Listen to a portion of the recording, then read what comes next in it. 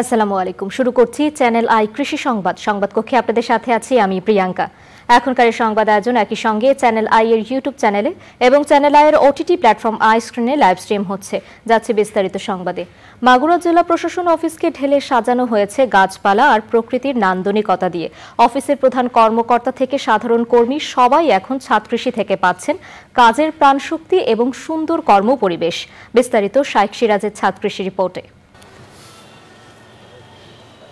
মাগুরা জেলা শহরে হোসেন সঈদ সরওয়ার্দি কলেজ রোডে অবস্থিত জেলা প্রশাসন ভবন। তিনতলাই ভবনের এগারো হাজার চুরানব্বই বর্গফুট আয়তনে উদ্যোগ নেওয়া হয়েছে ছাদ কৃষি।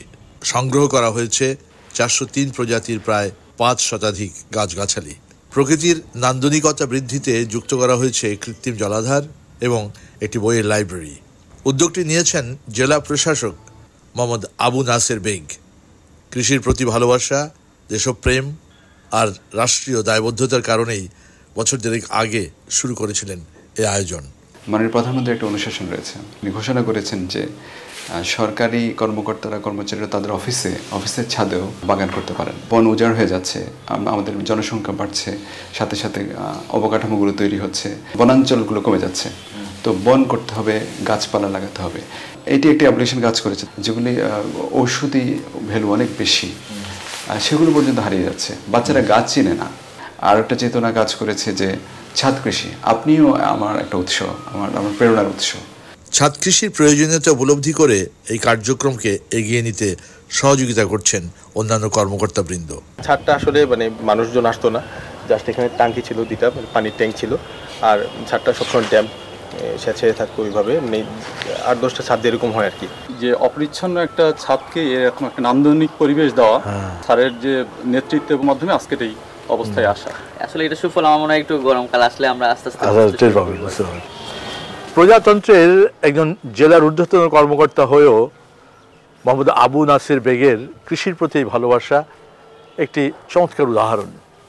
শুধু তাই নয় তার প্রশাসনিক ভবনের উপরে যে ছাদ বাগান কিংবা কৃষির নান্দনিক আয়োজনটি করেছেন, এটি দেশের অন্যান্য জেলা প্রশাসকদের জন্য হতে পারে অনুকরণীয় একটি বিষয়।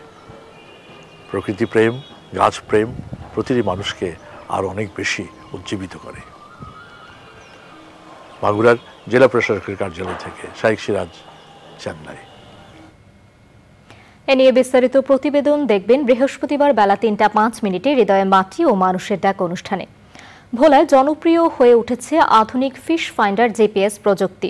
জলবায়ুর বিরূপ প্রভাবে উপকূলীয় এলাকায় নদী ও সাগরে মাছের সংকট দূর করতে জেলেদের ট্রলারে পৌঁছে দেওয়া হয়েছে fish finder GPS system.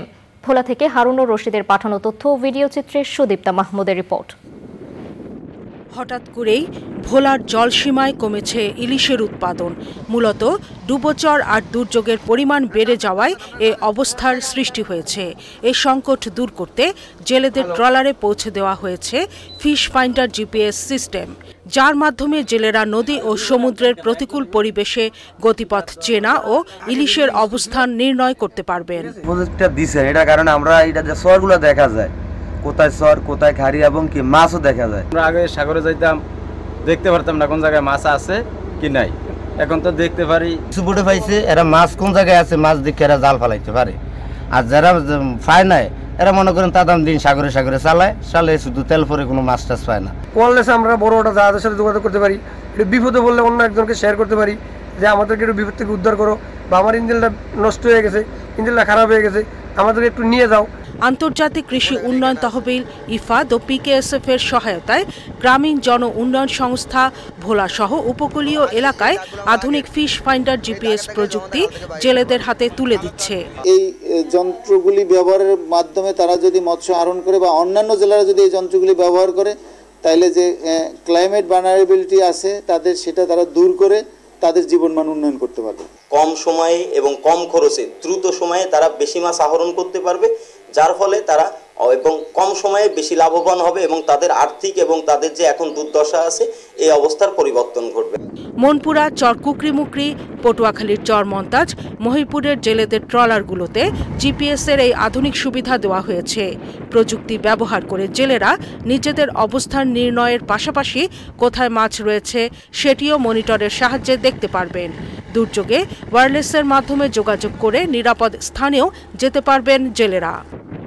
Sudipta Mahmud, channel I. Channel I কৃষি সংবাদের আজকের আয়োজন এ পর্যন্তই। পরবর্তী সংবাদ আয়োজনে আমন্ত্রণ জানিয়ে শেষ করছি। ধন্যবাদ সবাইকে।